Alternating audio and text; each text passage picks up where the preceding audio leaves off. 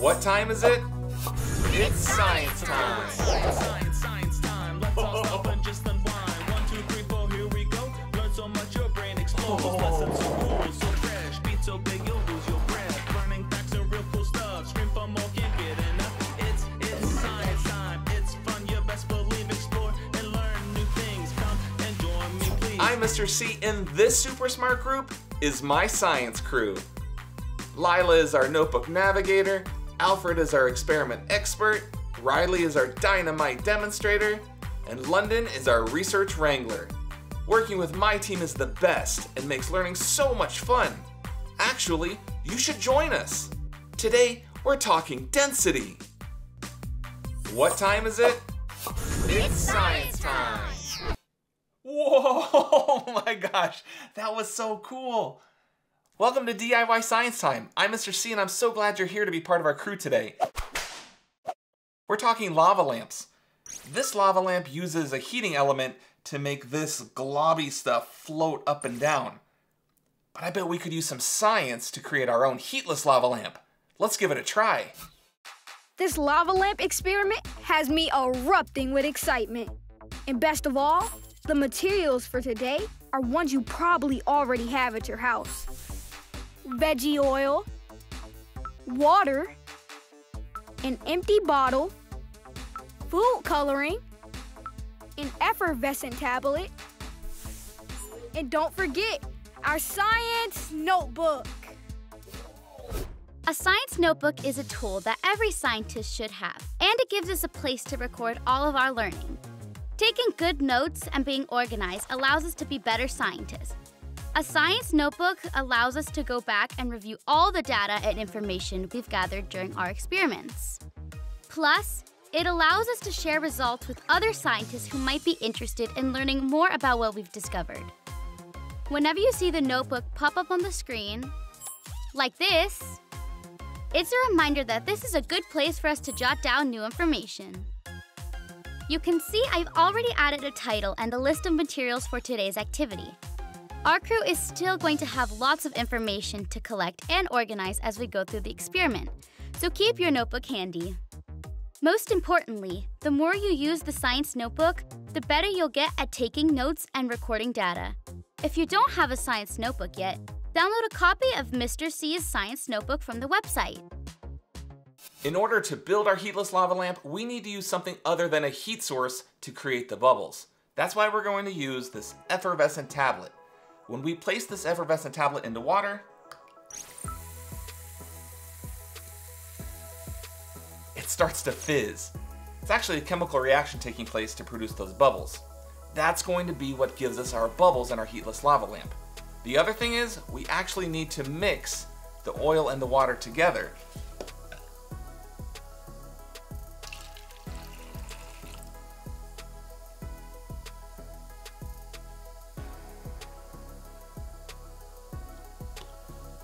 Oh wow, look at that. That is so cool. The oil sits on top of the water. I bet that has something to do with density. Density is measured by how much mass there is in a given volume. Density equals mass divided by volume. Water, for example, has a density of 1 gram per milliliter or 1 gram per cubic centimeter. Let's look at these two cubes that take up the same amount of space. We call the amount of space something takes up volume. Each cube is filled equally with 1,000 milliliters of water. We can now add sugar to each of them. 10 grams of sugar to cube A and 100 grams of sugar to cube B. As you can see, although both cubes are still taking up the same amount of space, one cube has more mass inside of it, which means it's more dense. We measure density by using a scientific tool called a scale. You can see on this scale that the cube that has more sugar inside is heavier. Now that we know how that works, we can use the idea of density to make the bigger version. Let's do it.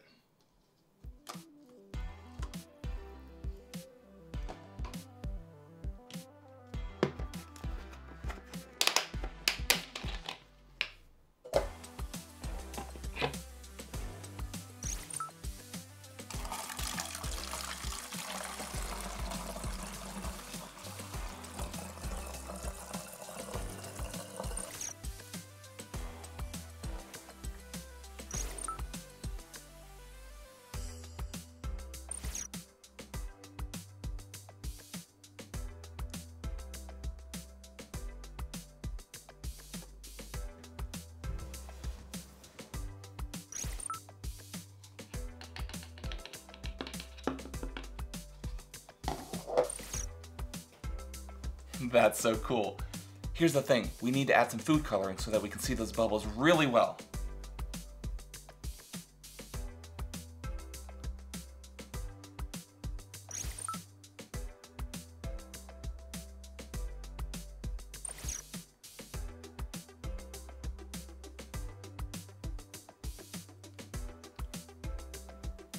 Wait for it, it's gonna drop here any second.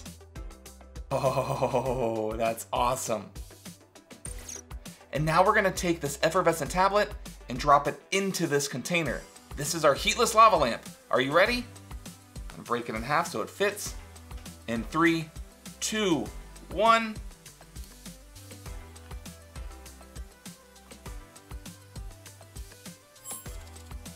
Okay, we've got some bubbles, we've got some bubbles. Oh, they're starting to turn blue. There they are. We have our heatless lava lamp. Oh, that is so awesome. They're starting to get darker now too because the water's mixing up. That is so cool. This effervescent tablet falls down through the oil and into the water and falls to the bottom of the container. That means it's more dense than both of those. The chemical reaction taking place allows this effervescent tablet to produce carbon dioxide. That gas is less dense and comes up through the oil to the top where it pops. What's really cool about it is this can happen over and over and over again. Oh, I think the tablet, oh, did you look at those big bubbles? This is so awesome. Let's try it again.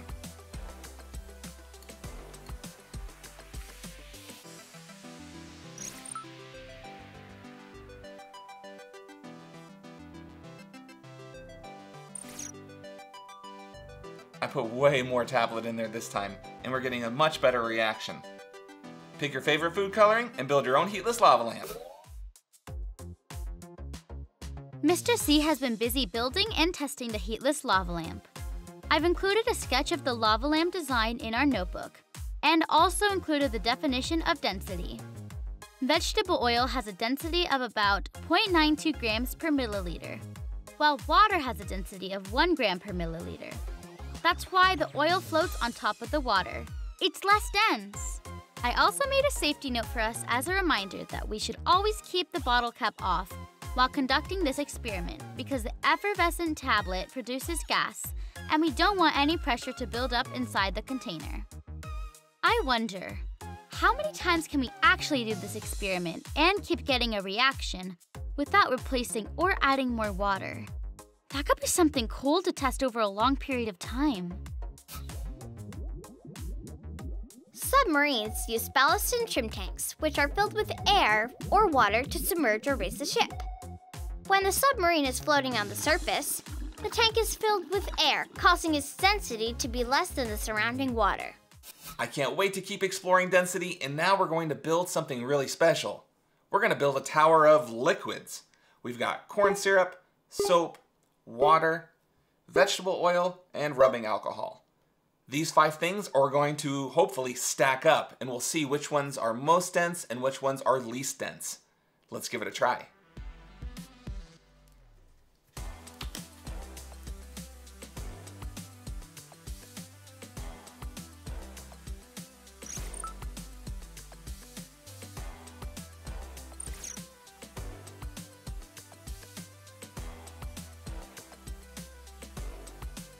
I'm squeezing as hard as I can.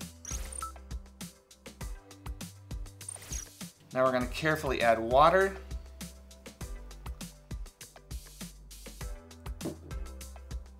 Oh, oh. All right, now vegetable oil. You've noticed I'm tilting the cup and container. That's because I want to have it running smoothly versus dumping it in. And our rubbing alcohol.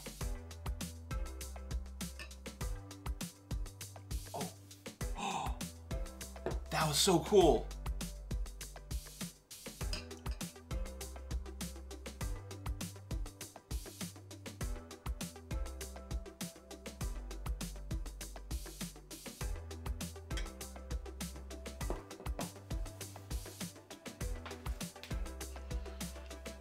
This is so awesome and it's working really well.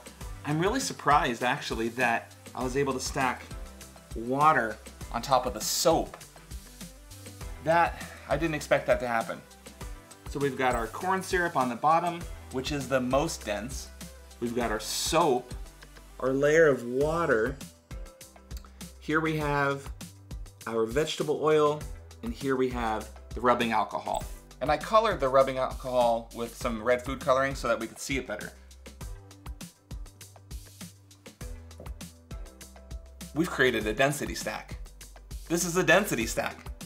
We have stacked up these five liquids to create this beautiful scientific stack.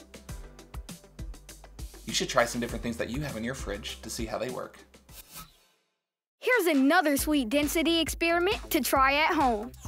Since we know that density is measured by how much mass there is in a given volume, we can easily make sugar water with different densities. Take three cups and put eight ounces of water in each cup.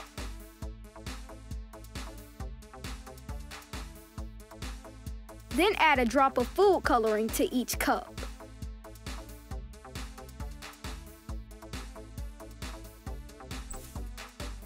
Add 2 tablespoons of sugar to the first cup. Add 4 tablespoons of sugar to the second cup. And add 8 tablespoons of sugar to the third cup.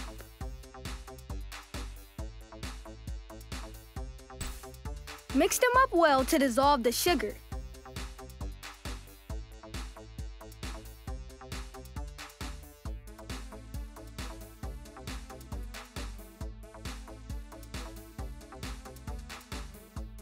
Now carefully stack the sugar water into a new cup.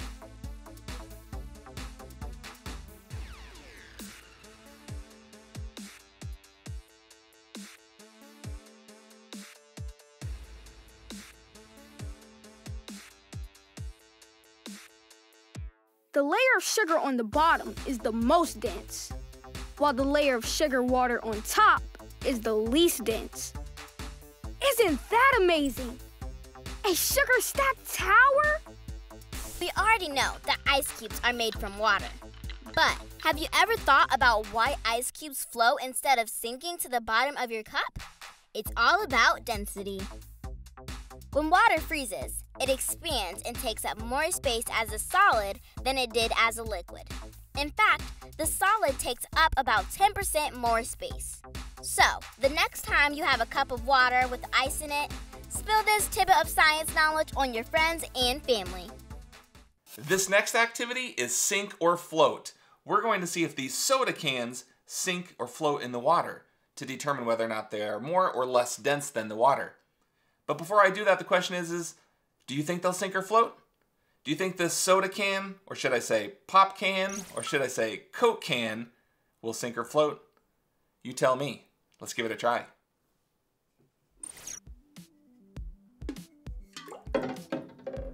All right, that one totally sank.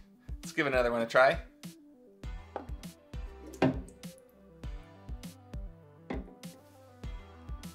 Definitely sank. Oh, this one's floats. Try this one. Oh, that can also floats. And our last can floated. Three cans floated, two cans sank. And the question is, why? Wait, hold on. This is a diet soda. And this is a regular soda. I wonder what the difference is. All of the cans are the exact same size, which means they have the same volume. A single can of soda has 45 grams of sugar. However, diet sodas use artificial sweeteners. The artificial sweeteners have less mass, which means the density of the diet cans is less than the regular soda cans. So the soda cans were super cool, but what if we take it to the next level and use bowling balls?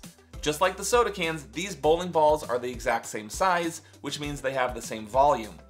But this bowling ball is 16 pounds and this bowling ball is 10 pounds. So the question is, will they sink or will they float?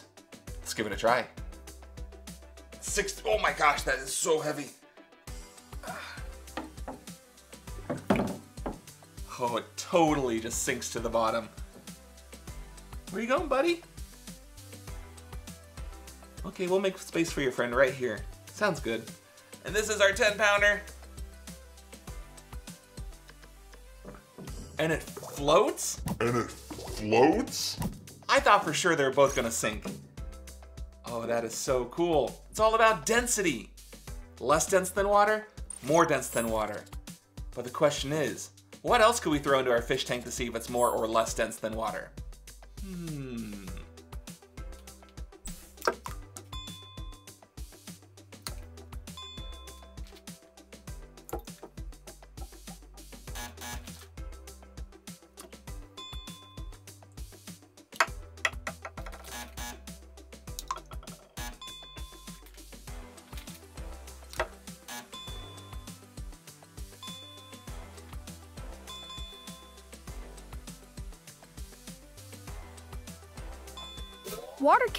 Used as a tool to measure the volume of an object. We can submerge an item into the water to see how much water is displaced. The water displaced should equal the volume of our item. Eggs typically sink in water because they are more dense than the water. You can actually make an egg float by adding a bit of salt and creating a saltwater solution. Adding the salt to the water makes it more dense than the egg and causes the egg to float. Oh yeah, we're gonna keep having fun and now we're gonna do some density artwork. Our materials today are pretty simple. We need tempera paint, we need some school glue, and then we need a little bit of rubbing alcohol. And this recipe is pretty simple. So I have eight colors here, and we're gonna do a one-to-one ratio of paint to glue. So I have a half a cup of paint already set up, and we're going to pour a half a cup of glue into each one of these containers.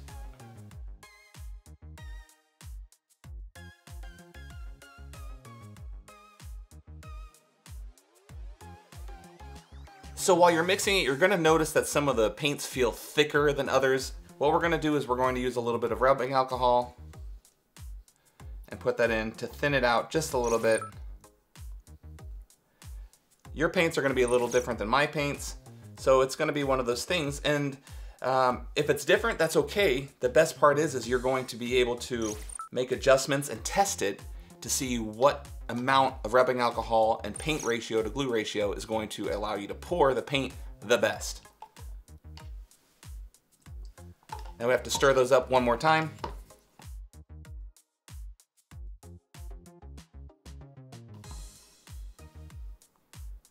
Think we've got them all ready to go. All right, so the next step is to organize your space. Kind of get some of the colors. I'm gonna put some colors over here on the left, some on the right. And now what we're going to do is we're actually going to use just some paper plates as the medium to paint on. And so I've got this plate here, and I'm gonna take this bowl and put it underneath it so that when I pour my paint on it, if it rolls off, it's not gonna get stuck to the table. And actually this time, to help it move a little bit, I'm gonna put a little bit of paint on here. I'm just gonna move this all over it so that when I put the other paint on top, it already has a layer of paint to kind of move on. So hopefully it glides a little bit better. There we go. See if that does anything. Grab another little cup. Try some blue. Try some white, some green, a little bit of black, and then some of this turquoise. And I'm even gonna throw in some yellow. All right, here we go. We're gonna plop this on here, turn it over. We're gonna let it sit just for a second so all of that paint starts to pour down. I have a lot of blue in there. I wonder if it's just too much. While we're letting that set, I'm gonna get another container ready. Actually, I'm not, I'm not, I'm not. I wanna pull this up and see what happens. Here we go. I'm gonna give it a nice pull, just move it around a little bit, and I'm gonna lift. Whoa!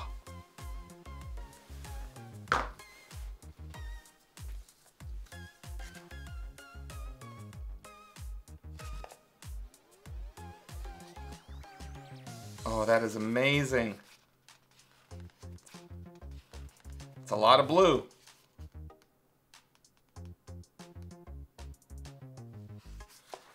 All right, I can let this one sit. It just, and look at all of the cells starting to form. The cells are forming. We've got some cracking down on this side. Got all of these little cells trying to pop up. And it's because these layers of paint are trying to figure out how they're interacting with one another. And because of that, that's why we get these beautiful designs. And because we have it sit up, sitting up on top of that uh, other bowl, if any of the paint runs over, it's fine. It'll just kind of uh, roll over the side. And this is how you can create some amazing, beautiful artwork. Oh, stretch those out. Oh, those are those are amazing over there. Look at that. That looks amazing. Let's try another one now that we have everything picked up again because I, I just can't get enough of this. And for this one, we're going to use the bottom of a soda bottle so that we can use it to kind of generate a pattern. And before we get started, we're going to put some white paint on top of this canvas board so that we are able to get the paint to pour and move and flow much more easily. I'm gonna take a new stick.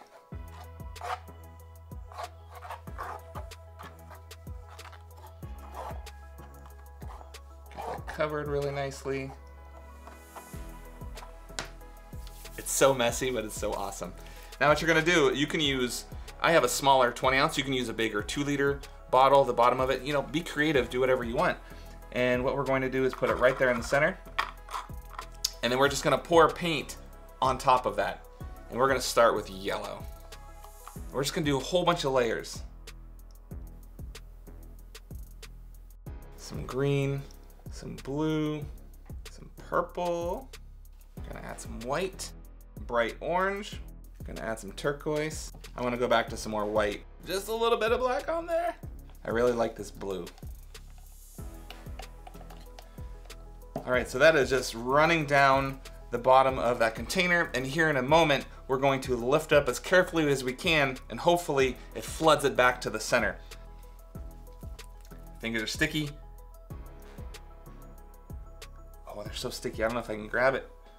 Here, try from this side.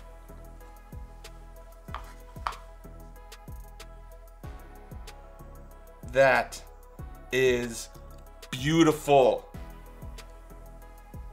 That is beautiful. It's coming back to the center ever so slowly. I don't know if I even to mess with it.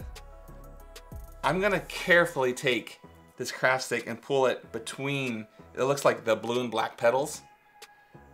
Here we go. Oh, I hate, I hate to even do this, but it's artwork. And then I'm gonna take the clean end. So I might use a couple of these.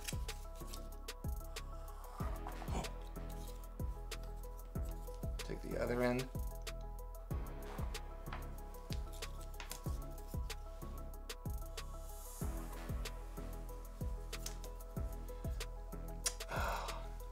I go through the petals? Should I go through the petals?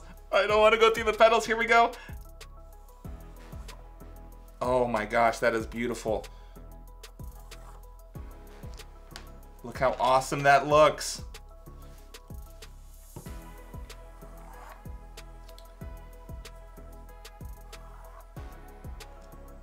This is so cool. So not only do we have an amazing pattern, but we can start seeing the colors pop up and we're starting to see some cells. We're gonna let this sit and we're gonna let it dry. It's gonna take a little bit of time to let this dry, but we'll have an amazing piece of artwork that we can hang up on our walls to illustrate that science and art goes hand in hand. You guys should build one of these. Not build, but you should design and make one of these. And the longer you wait, look at this, all of the little cells are starting to pop up. It's absolutely gorgeous. I can't wait to see your artwork. Hashtag DIY science time. Before all of this information floats away, let's make sure it's written down in our notebook. I added our definition for density, some of London's research, and also created a chart to record which items sank and which items floated in water. That density stack has me wondering how many different sugar layers you could stack on water. Four? Five?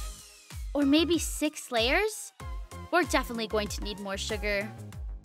There's so many exciting things to test, So be sure to try some of these fun and sweet experiments at home. What an amazing day! Density is awesome!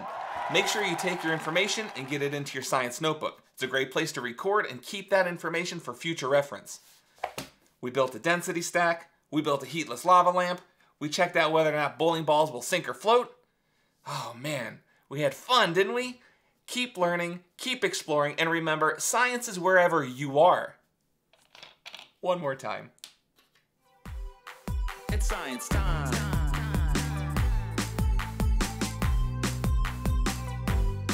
It's science time. I definitely think blah blah blah blah blah. I definitely think we should try to stack up more liquids than. Oh my gosh! Wait for this one. We're gonna try something different. Instead of just mixing. Oh yeah! I can't wait to try this one. Instead of just mixing water and vegetable oil like a we. Oh yeah! Instead of just mixing. We know it's awesome. We know it's great. It's science time. So here we go to